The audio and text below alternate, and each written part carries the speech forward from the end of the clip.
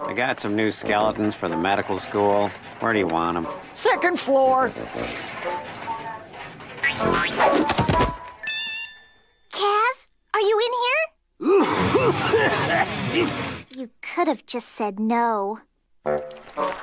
Hey, is this Kaz's room? Oh, you might want to put some ointment on that. Yumi, what if we never find Kaz? Won't you feel terrible? Never thought I'd say this, but yes.